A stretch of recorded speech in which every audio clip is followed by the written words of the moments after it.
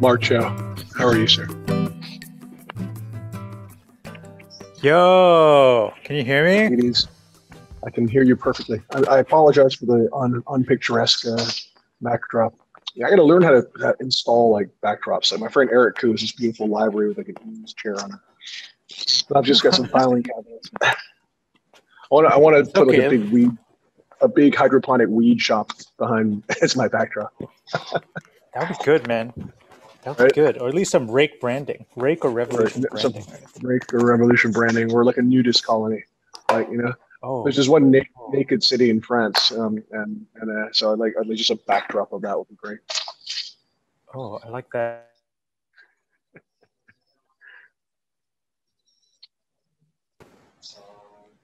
Okay, I want to I want to put on a jacket as well. Then. Or I can take off my jacket. It's okay. No, no, no, Mark. I've never seen you take your jacket off. You probably sleep in it. Mark, do you sleep in a jacket? Yes, I have a sleeping jacket. That's exactly what the sleeping jacket is. You know, when I when I first um, went to Charvet, I was super enamored with like you know the velvet robe that they have, this velvet smoking mm-hmm. jacket with a sash, and I thought it'd be such. I thought it'd be so cool to have that jacket and, and wear it on the plane. so I remember I stuffed. It. Did you do my, it? Yeah, I did. I, I stuffed it into my carry-on luggage. And, incidentally, that thing is huge. It's incredibly bulky. And then, okay. like you know, as I sort of changed into my pajamas, so I also bought the Charvet um, black pajamas with the white piping on it, and I bought a burgundy. You know, I bought a velvet smoking jacket, and I oh. I came out into the plane and just sat down and you know ordered champagne, and I, I, everyone kind of looked at me like, "What? What a tool!" You know, like, to hell with them. But nonetheless, forget about those exactly, guys. exactly, exactly. Yeah. But I liked it. You know, it was interesting because when my father uh, was flying, you know, back in the, the 60s and the 70s, people used to get really well dressed to take their flights, right? Mm-hmm. I mean, it was kind of a social occasion as well. And he would, yeah, he always he would always wear a suit to go take a flight. And you know, it's a pity mm-hmm. that that doesn't kind of happen anymore. You know. Yeah, I guess I don't know. I wonder if people start dressing up a little bit more for flying after COVID. I okay. I'm not. I'm not holding my breath though. Let's put it that way. I'm not holding my breath. Nor am I. Okay, yeah, so that, like, that, that's a very pertinent comment because that's the question I want to ask you, Mark. Is how mm-hmm. has uh, everyone's talked about casualization? Everyone's talked about you know how there's been a deracination of like the sort of formal codes um, people are just going to live in sweatpants for the rest of their lives. Um, so, what is it from your perspective? How has the last year permanently or altered the way in which people will dress? Or do you think there will be a return to formality and suiting and tailoring? Uh, I think there will be a return, but it might not be back to levels like it was before. Um, I think part of this is more at a at a at a bigger level, right? putting on my business hat, like people have reduced the amount of office space that they're using. Like companies have reduced the amount of office square footage that they have. And so not as many, they're already planning for not as many people to be in the office as before, you know? And if you're only going to be at the office three days a week, four days a week, and you're going to work from home one of those days, like I think your kind of formal officey type wardrobe will reduce slightly. And given that now you have this like kind of usurper day in terms of your formal versus casual wear. Um, in the in the work week, I think that casual will leak into the work week even more than before. Yeah, I think I think you're right. Um, what do you think that uh, of like the, the relevance of tailoring for the future, but you know, sort of paired with more casual um, garments, such as the Hawaiian shirt, for example? I love it. You know, I think that like I got into this work because I really love tailoring and because I'd like right. to perpetuate it and make sure it hangs around, right? Like it's such a beautiful art form, it's such a beautiful form of design and engineering. And so whatever form it survives in, I'm I'm perfectly fine with. I don't feel the need to like stick to those old codes necessarily, um, as long as the concept of tailoring still exists, right? And by concept of tailoring, I mean like, um, I mean like, you know, garments that have lapels, that have a certain construction in the shoulder, that have canvassing, like garments that are three dimensional rather than two dimensional. That is really what the, the crux of tailoring for me, rather than necessarily it having to have to be like, oh, it has to be in charcoal, it has to be in navy, blah, blah, blah. Right. Um, you know, it's interesting because I, I, went through a, a, period where I wasn't wearing a lot of tailoring, and I've only started to sort of re-embrace it. And I think it was it was kind of concurrent with my finally losing the weight that I gained during COVID, right? Because I kind of let oh, it all okay. go. You know, I was, I was comfort eating. I, I, just got kind of fat and pasty. I became basically a functional alcoholic. Um, okay and then, no, then I made a concerted effort because, of course, we can all see the end in sight as well, right? There's kind of been a renewal mm. of hope. There's a light at the end of the proverbial sort of tunnel. Um, and mm. I'm going to want to see people again. I'm going to want to interact with my friends. I want to mix with society as well. And I'm looking forward to that mm. with, you know, sort of inordinate um, pleasure and I want to look mm. good. And I think that that's part of the human compulsion, like right. And the thing about tailoring for me, which is so wonderful, is that it's about a dialogue, right? It's about you mm. being able to express who you are. You know, you're not being dictated to from a fashion designer or whatever. Although in some instances that works well, um, you get to sort of manifest what is sort of within you in terms of, of mm-hmm. the three-dimensional sculpture that you wear. And I don't think that's ever going to go away. It may be worn in different ways. I agree with you. I think people wear it with like t-shirts or denim shirts or polos or what have you, you know. But. I think mm-hmm. that there's also going to be moments where people want to look, you know, sort of irrepressibly beautiful, right? And and, and yeah. in those occasions, they're going to want to, you know, a turn down collar shirt, and they're going to want a beautiful mm-hmm. necktie as well. Every human being has a compulsion to look like the best version of who they are, and tailoring is very mm-hmm. much part of that equation for me. I mean, even beyond looking the best, um, there's also just since time immemorial, you know, like people want to want to realize what they think they look like to the outside world. And clothing plays Correct. a huge part of that. I mean, look at every single culture, every period of history. You know, there's always been, I guess, fashion, clothing has always reflected the zeitgeist of those cultures and those times. Yes. You know? And just so happens right now for us, and for I guess maybe for me personally, like I just like tailoring. Tailoring, I find, is the most convenient and most accurate way of like realizing myself and my customers. Absolutely. I think Proust once said, um, uh, "Style is that world that each of us sees and that is unseen by others." right? And you're absolutely right. Mm. It's hmm. about making manifest who you believe that you are through your, what you wear. Mm. Um, I think there's also a hmm. nice, nice dimension to it, which is very timely as well. I think that for millennials and for Generation Z, but I think for all of us, we're also talking about consuming less, right? Which is super important because we basically fucked this mm. planet almost out of existence. And when you make or purchase clothing that you wear forever, right? I mean, there's hmm. nothing better than that from a sort of like ecological perspective. Yeah, definitely. I mean, I I really believe in trying to reuse clothing and trying to repair it and keep it going you know and, and it's always the best garments that it's always the best garments are always the ones that you've managed to wear for a long time and you've really settled into and it's just become a part of you it's just become an extension of you right in fact it reminds me of like right now in europe especially um, it hasn't caught up so much in the us but right now in europe especially like the momentum for right to repair is really growing you know right to repair as in like um, electronics manufacturers can no longer make devices that the user or at least a service center has a certain amount of ability to repair without just discarding the whole thing. I think that's, that's really amazing. I think it's great. Yeah, like, yeah, I think like greatest... iPhones having captive batteries. That's like an example of like that's not a good. That's not right to repair. You can't even replace that thing yourself. You know. Absolutely, you know, and, and for for me, I've always um, been a bit suspicious that there was a sort of you know engineered anachronism that was happening with all these electronic devices. Right, every year, you know, every two years is a different sort of pin that you need, or a different plug, or mm-hmm. one doesn't yeah. kind of you know work with the other, and it's it's quite yeah. irritating. And I, I absolutely applaud that. I think it's great, right? Hope and hopefully the brands embrace it. I guess they'll have to, right? Like brands like Apple. Yeah, I guess if something like as big a block as the EU embraces something like that, right? It's too much trouble to to to design a bunch of versions of the same hardware. So they'll just go with kind of the lowest common denominator, which would be stuff that's easily repairable, stuff that has serviceable parts. Amazing. So, Mark, I, I, before we get into your your lookbook, um, I wanted to also say I have a huge admiration. Well, I, have always admired you. I think you're a great guy.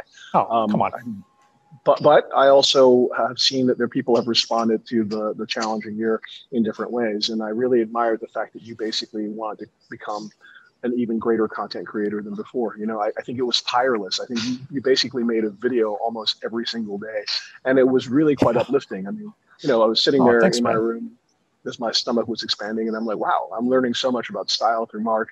I'm thinking about interesting combinations or ways to wear jackets or shirts or, or putting things together in, in really great ways. So at what point were you like, you know what, I'm just not going to like you know bury my head in the sand. I'm going to get out there and I'm going to talk to people and talk about style, right?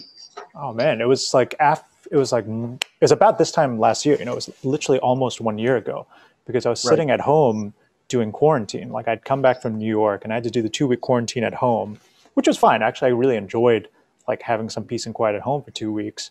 But I was like, God, I really miss talking to customers. I really miss talking about this sort of stuff. Um, so that's just how it got started, you know. And Amazing. the nice thing about during the COVID period is that expectations perhaps are a little bit lower um, in terms of like it doesn't have to be beautifully produced. Like it can be quite raw, and people will still appreciate it.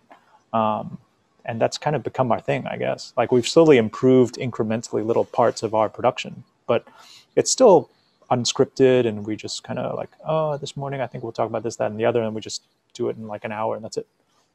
Yeah, but you know it's that's nice what I like about it. I, I it feel yeah exactly. It feels like a real conversation with with you. Um, and I think that maybe one of the you know sort of benefits of, um, of the last period that we've been in is in some ways we are no longer enslaved to video productions necessarily being flashy or overly produced. Mm. I mean, mm.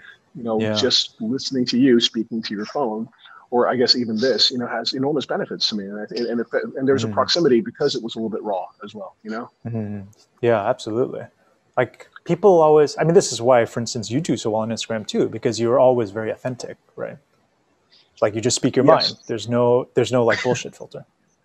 I, I, it was funny because when I first got into Instagram, I tried to be, you know, kind of like polished and all that, and I, and I realized that just my aptitude was not to, to be kind of perfect all the time because I'm really, really not. And then the moment where I started to understand, you know, the cathartic use of Instagram, and also people seem to respond to it in an entertaining way, was when I was having meltdowns in the airport, right? uh, when my flights got canceled. Which one?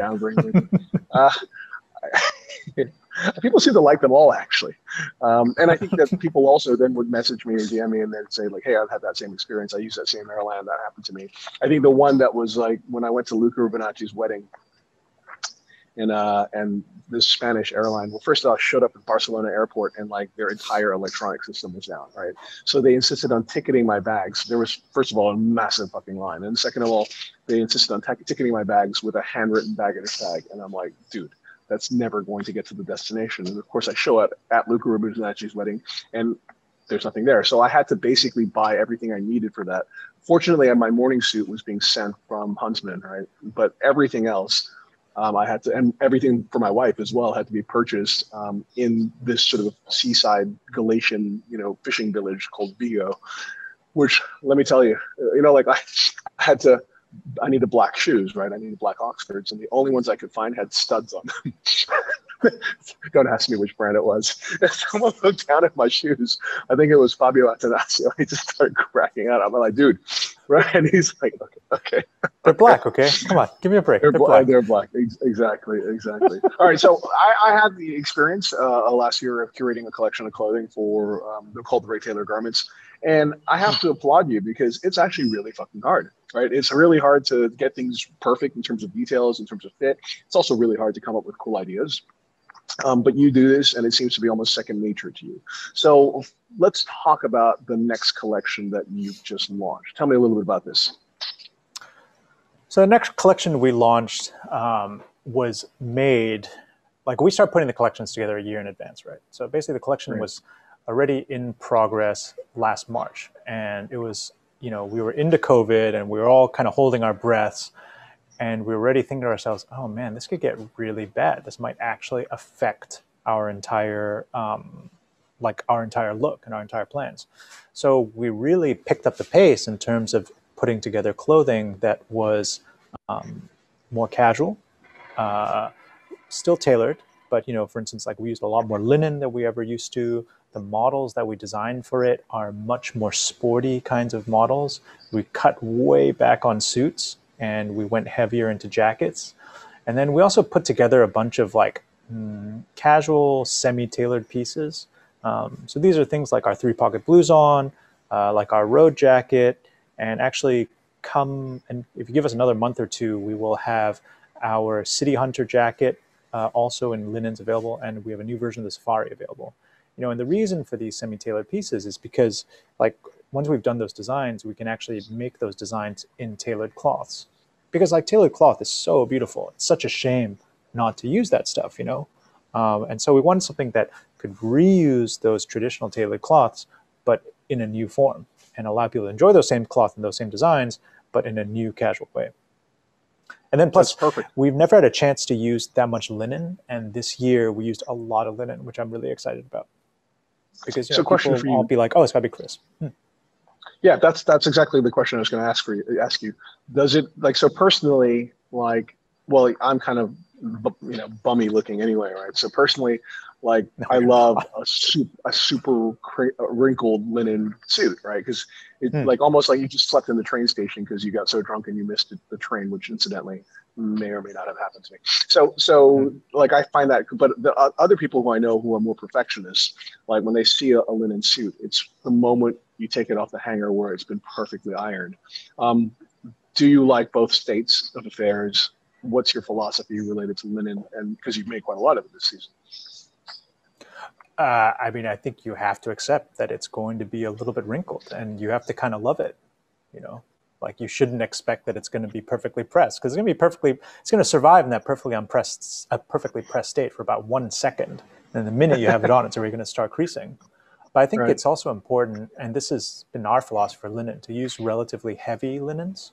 Like when you do quite light linens, the wrinkles get quite extreme they're not always very pleasant to look at. Whereas like the linens on uh, the wrinkles on heavy linen are, are a lot more, they're a lot more gentle, you know, and they just feel like the garment's been lived in rather than the garment's been like crumpled up into a ball.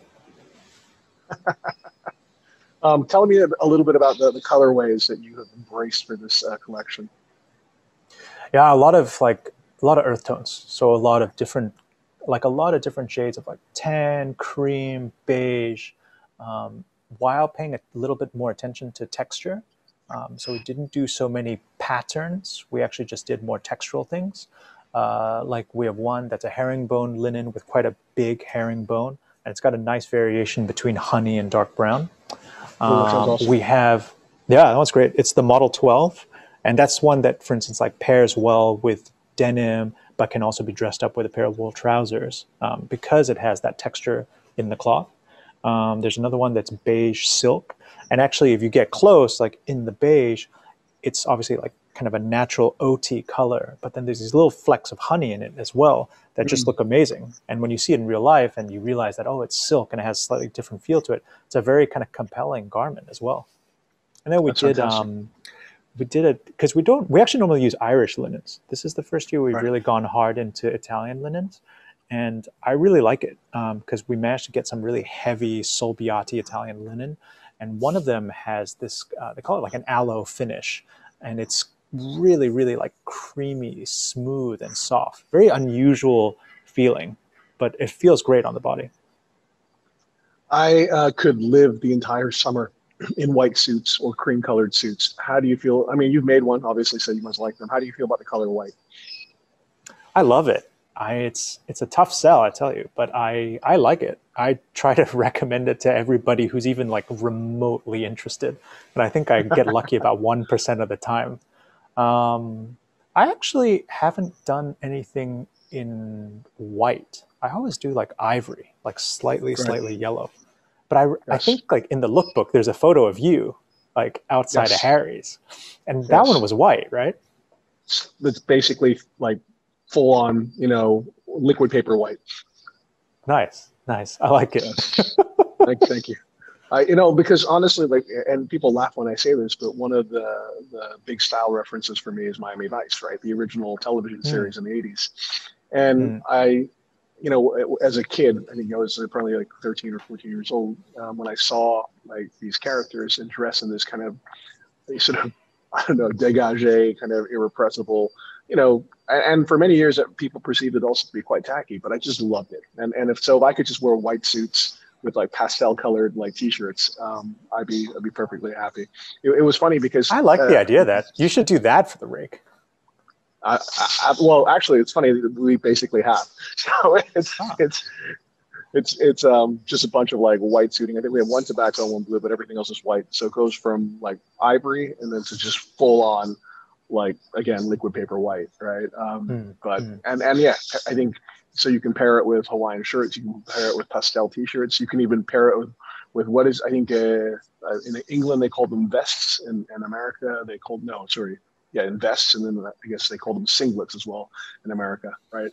There, there's another nickname for them which I won't share as it's it's it's, mm. it's not a it's it's not a nice one. But anyway, like yeah. I, I've even I, you could even wear it with that. Actually, it's funny because in, in Pitti Uomo, I think two years ago, I was actually wearing um, a vest with a, a, suit, and I was like, I wonder if anyone else is, thinks this is ridiculous, or I wonder if everyone thinks this is ridiculous looking.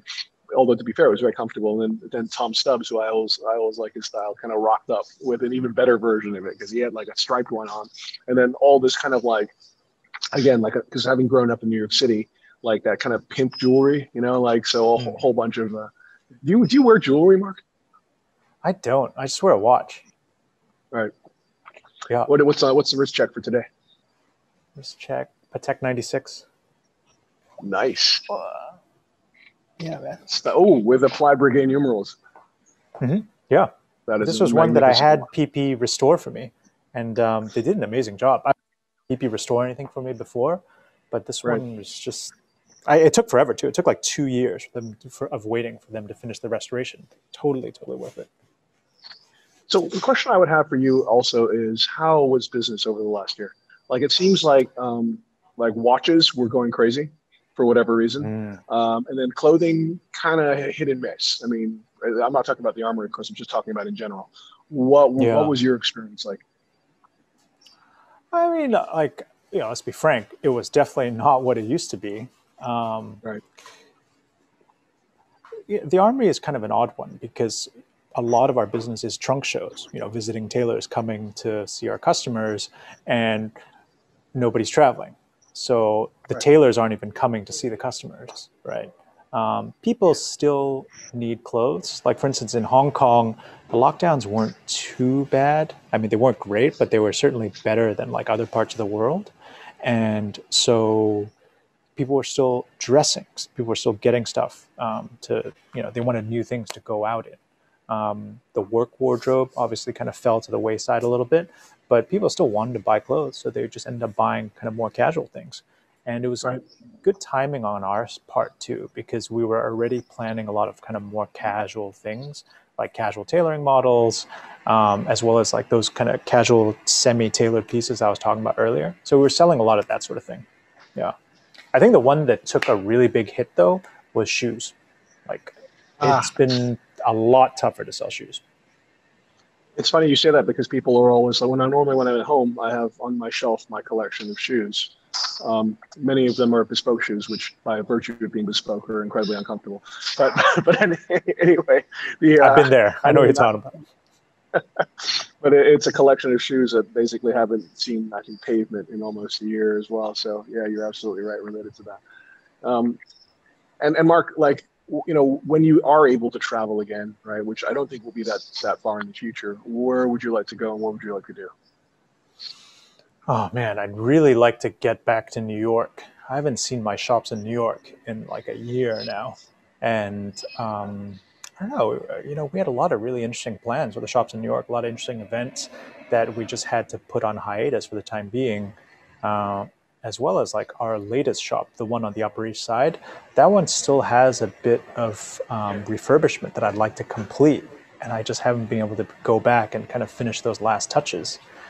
So I'd really like to go back there, finish the shops, see all the customers, see all the teams, and also just all these friends I haven't seen in a long time.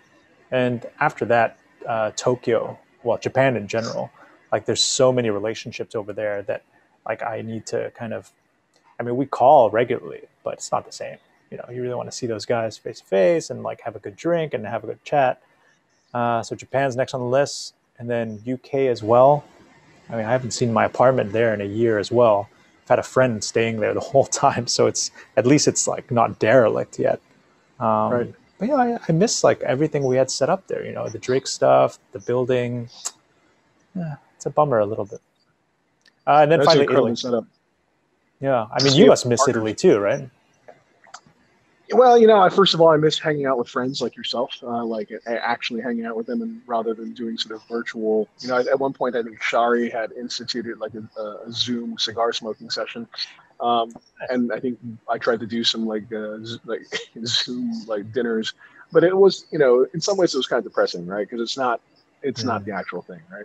Uh, and it mm. almost feels not not Shari's um, Zoom cigar session, but sometimes it feels a little bit forced. Um, I have to say, I'm really impressed with the expansion of the Armoury internationally, and maybe you can tell us oh, a little bit about that. So you now have two shops in New York. You've got the Crosby Street shop in Soho, which was the first one, and then you've got a Upper East Side shop as well now, from what uh, correct, and then in London. So it's actually a, Tribeca. Uh, so the Crosby Street shop is the Drake shop, and then the oh, I'm so uh, sorry. Street shop. No, no, no worries. Right. No, no, no worries. Uh, yeah, Tribeca and Upper East Side. Right. So okay, actually, let's talk about that because you have basically two two brands, right? You've got Drake's, which is an amazing brand, um, and it's a, a British brand that has somehow become the brand for if you're that young guy and you're interested in all things sartorial, that's the brand you go to, right? I, I think you know, and then I and and I, I, love the the value proposition that Drake's offers. I mean, it's I think it was one of the first sort of tailoring brands to maintain the quality, but actually reduce the price quite significantly, so people could get into clothing right at a much earlier age or greater oh, accessibility. Right. Hmm. So that's a very important brand. And I and you know I, I was just talking to Lorenzo Cifonelli because he was saying, listen, you know we're in a war for the hearts and minds of the next generation and if you make something like tailoring so inaccessible to them right they're mm. they're never just going to get into it because it's like why you know yeah i can't i can't afford it right as simple as that yeah um, yeah and then and then and then the armoury is is uh is a is quite a remarkable place. It's, it was actually quite interesting because I there used to be such amazing mixed sort of label really well curated men's shops in New York City, right, or around the mm. world. But one mm. by one, they've kind of fallen by the wayside. You know, I think um, the, the last one and the one I, I, used to love to go to was one called FR Tripler, right, which was in New York. Um, um, and I think I bought my first like Hickey Freeman like uh, overcoat from there, like something like that. You know, all these great. What American was it called? Uh, Hickey Freeman. Uh, it was called FR Tripler and it used to carry Hickey Freeman, Oxxford, like uh, Alt Peel, like all these kind of like mm. cool American you know brands. Mm. Um, and then it just yeah, sadly kind of fell by the wayside.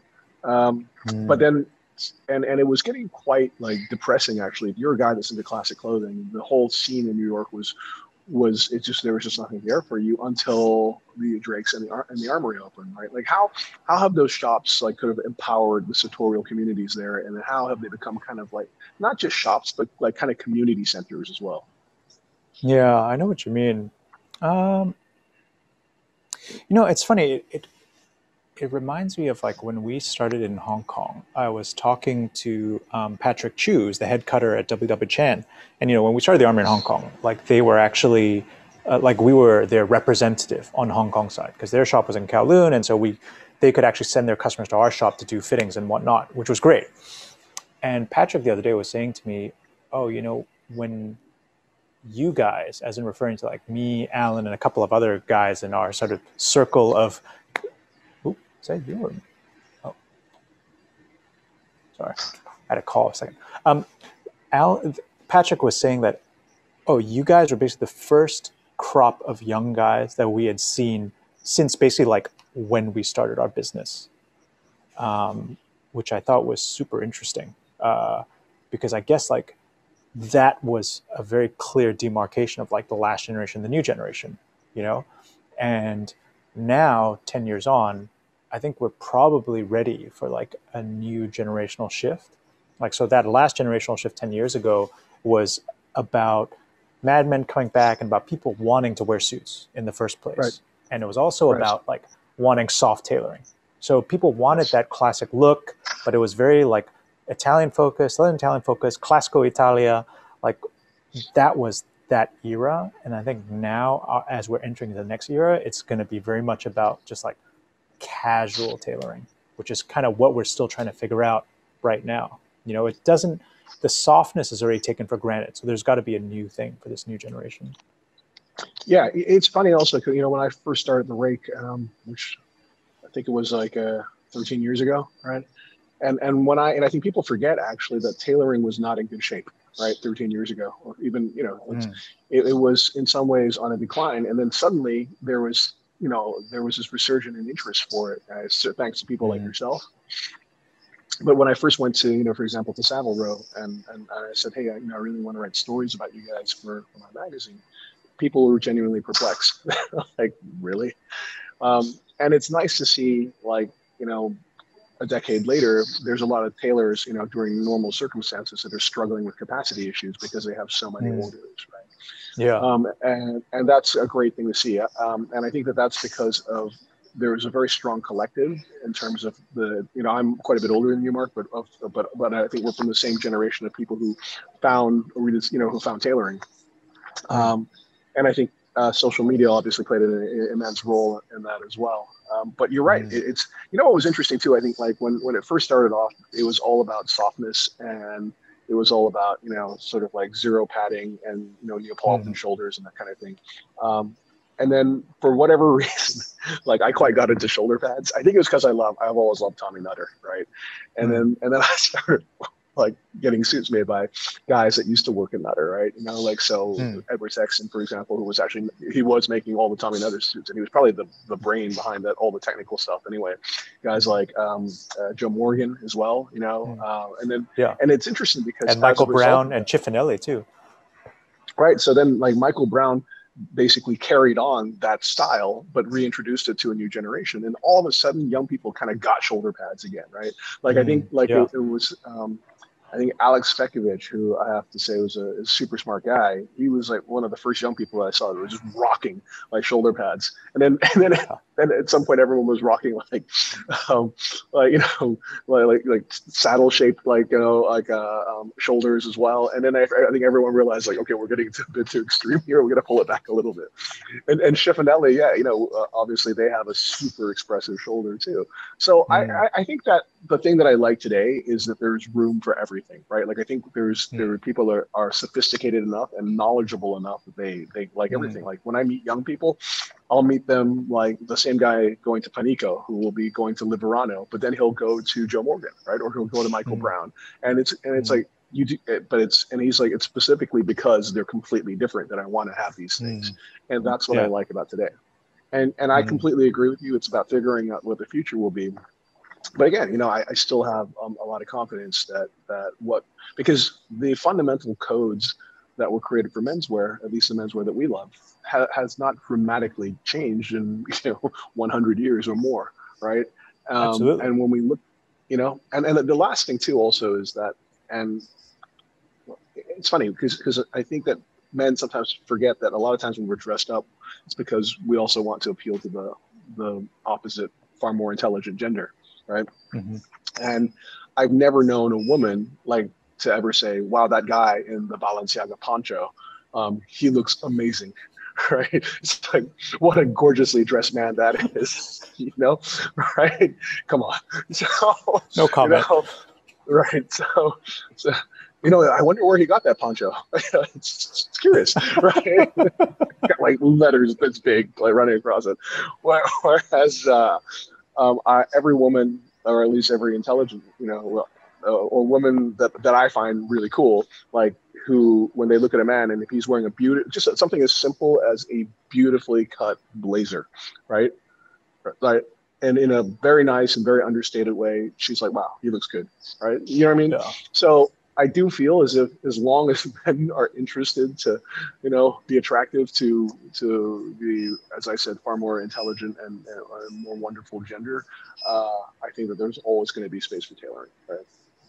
You know, it, one because th- what you touched on, kind of something that's been on my mind recently, um, since we've been around for ten years, is to what extent do you grow up with your customers, and to what extent do are you able to attract younger people, right? Um, for instance, the armoury in Hong Kong, in the Landmark, okay, the Landmark being this very nice mall, has built out this new section called Below Ground, and Below Ground is all about like hype. It's about a lot of pop-ups. It's about you know uh, like Fragment did a thing there. It's like that sort of hype beast style, which like it's great. I just don't get it at all myself and I assume I don't get it because I'm just not that demographic anymore. You know, like I, I don't really know how to connect to that generation. The best I can do is like do my thing and then hope that they like it. But it's it is it is a funny feeling to to start thinking about like uh, or when you watch other brands try to appeal to a new generation and they do it badly, it's so yes. cringy, you know? And so yeah, you kind of want to avoid that too. Oh. But so what does that mean? Like, do you just always stick with your customers for the rest of your life? Because you also need some new blood eventually, otherwise your business right. will die. I, you know, it's funny you say that because um, we're about to launch a project with Lorenzo Cifonelli, and the objective there is to create Cifonelli clothing that has all the codes of Cifonelli, but at a price that he's never done anything like that before. So much cheaper than obviously his his bespoke stuff, which is very expensive, but understandably so. It's it's haute couture, mm-hmm. you know.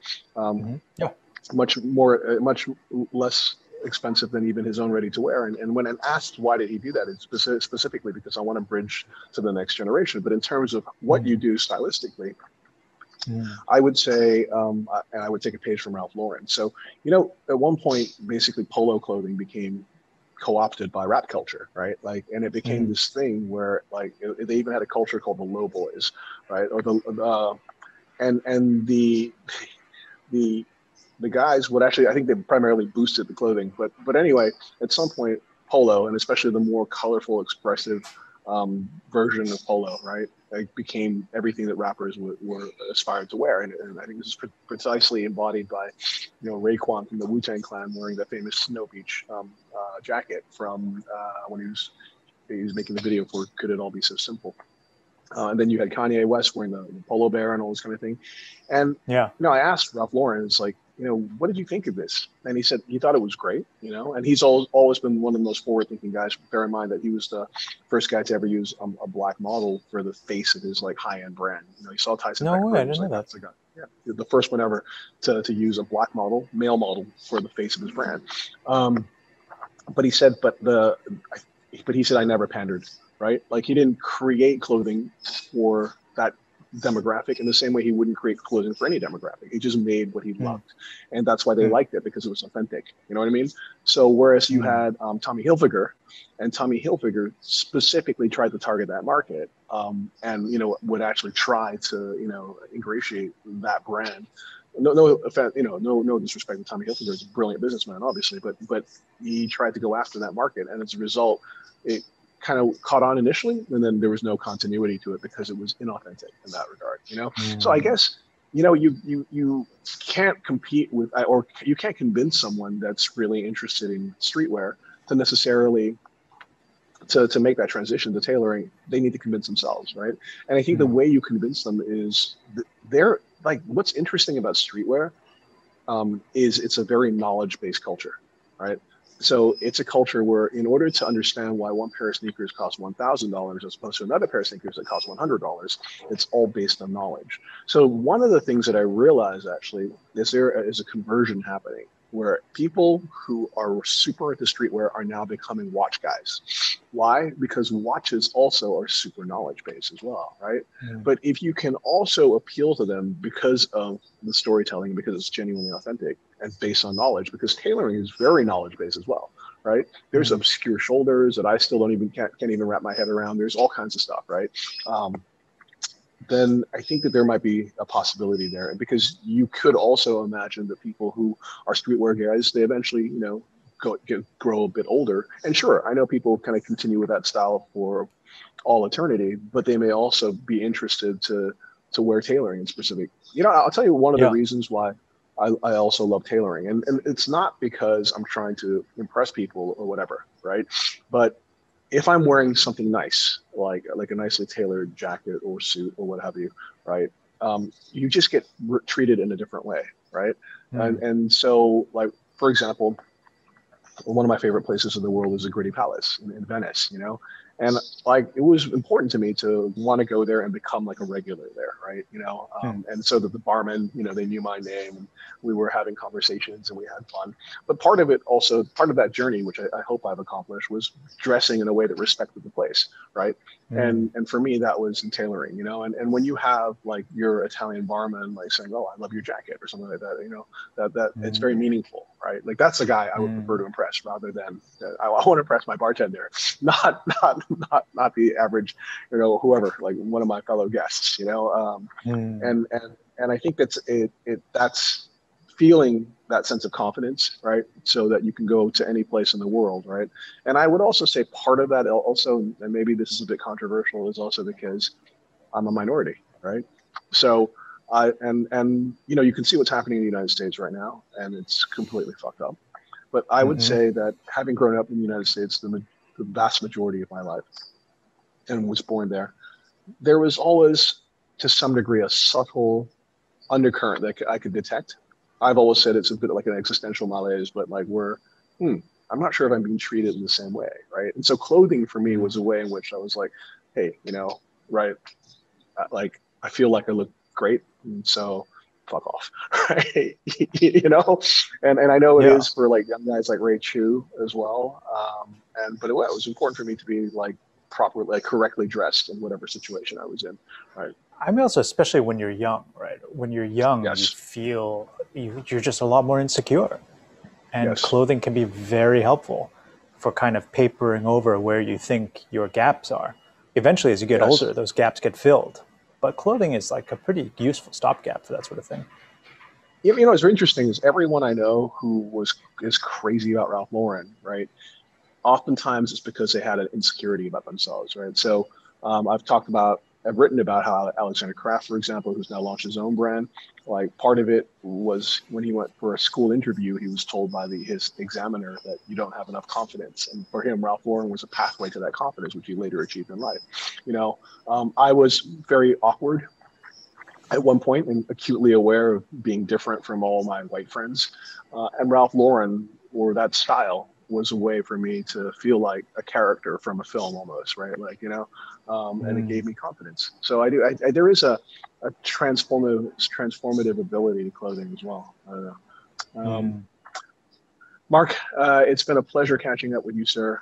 Congratulations. You too, man. It's collection. been a while. Oh, we got to go out for dinner sometime. It's been a while we absolutely have to. I really miss those meals. I also miss those kind of like spontaneous like lunches that like kind of go on for quite a few hours as well, and sometimes yeah. involve and Dukes and Dukes. We got to go back to Dukes. We absolutely have to go back to Dukes. It's phenomenal. Oh, I think I still have a yeah. bottle of gin like in the freezer in my apartment in London, and it's just sitting there. So, it's conceivable your friend may have drank it. Actually.